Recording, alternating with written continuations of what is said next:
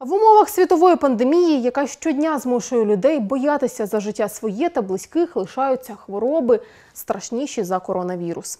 Рак не пішов на карантин в Україні півтора мільйона хворих на цю недугу. А в теперішніх умовах онкопацієнти є особливо вразливими.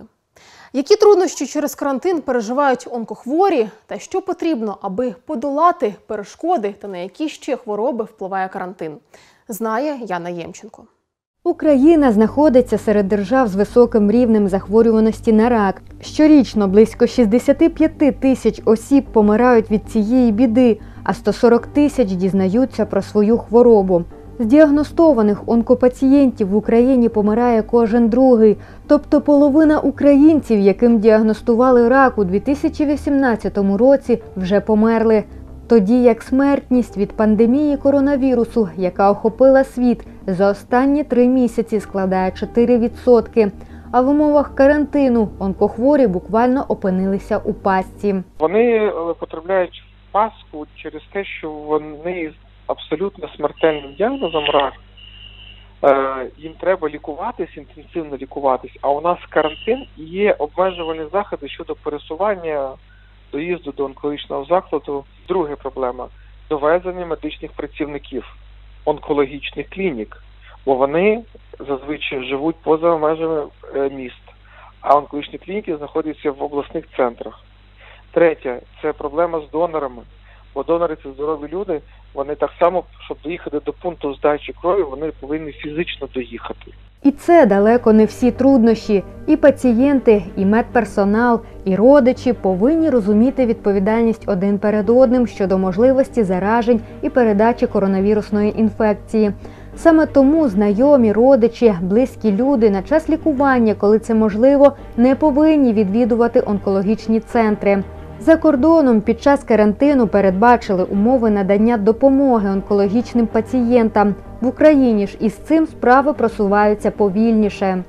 Треба організовувати е, перевезення, треба налагоджувати телемедицину, онлайн-консультація пацієнтів, приймати рішення щодо відтермінування лікування чи перенесення, якщо це можливо безпечно для пацієнта. Якщо це е, неможливо, то е, призначати лікування, щоб пацієнти зменше знаходились в чергах, в скупченні людей, щоб родичі не ходили з пацієнтами, бо вони також є фактором ризику передай COVID-19. Повинен бути алгоритм поведінки онкологічного пацієнта під час лікування в умовах пандемії.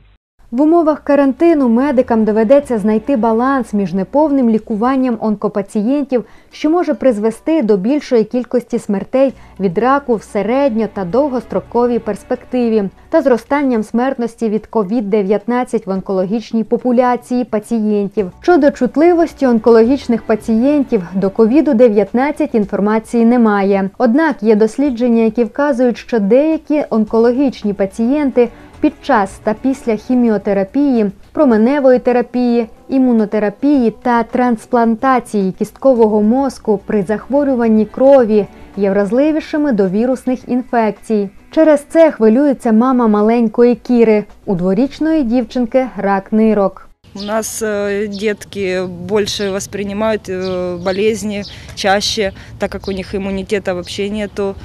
Вот у нас э, каждую неделю введение, и получается мы больше в зоне риска, наши детки. Ну, мы тут уже хорошо, что есть такой фонд Запорука, дача, что мы не смогли домой уехать вовремя, мы здесь живем, так как э, мы не близко живем из Донецкой области, и получается мы здесь малеха застряли. У центрі дача Кіра з мамою та бабусею живуть майже півроку. Дача єдиний в Україні будинок, який стає тимчасовим домом для онкохворих діток, які лікуються в інституті раку.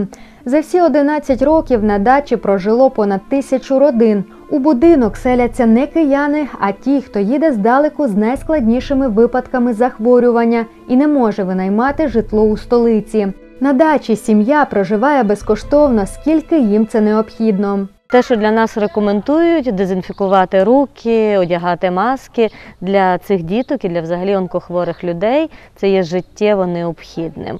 І якщо колись масочка у аптеці коштувала 2 гривни, то зараз і за 25 гривень її важко знайти. А скільки тільки таких масочок потрібно дитині, лікарю, родині, яка доглядає за хворим. День, тобто це величезні, величезні бюджети. Є проблеми зараз також з хіміотерапіями в лікарні. Це проблеми пов'язані більше з логістикою, тобто невчасно поставки зроблені. Кожен може, відправивши смс на номер 88077, подарувати дитині маску.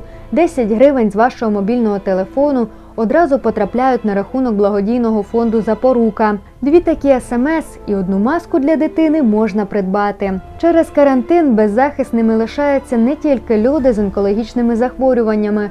Про ризик для ВІЛ-інфікованих розповідає Євгенія. Адже через обмеження медичні заклади не обслуговують первинних пацієнтів. А це означає, що виявити швидким тестом ВІЛ-інфікованого неможливо. Е, До карантину ми працювали так. У нас працює дві мобільні амбулаторії. Вони е, їздять по всім закуточкам Київської області і Києва по таким, знаєте, районам, де є скупчення цих е, уразливих до ВІЛ груп населення. Ми тестуємо швидкими тестами, проводимо таке асоційоване тестування, коли людина сама тестується, ми надаємо їй таку підтримку. І якщо людина виявлена ВІЛ-інфекція, перший швидкий тест, ми зразу в цей же момент її супроводжуємо. Вона робить тест, який підтверджує ВІЛ-інфекцію. Зразу лікарі е, по кабінетам довірам і дружні лікарі роблять забор крові, став- ставлять її на диспансерний облік.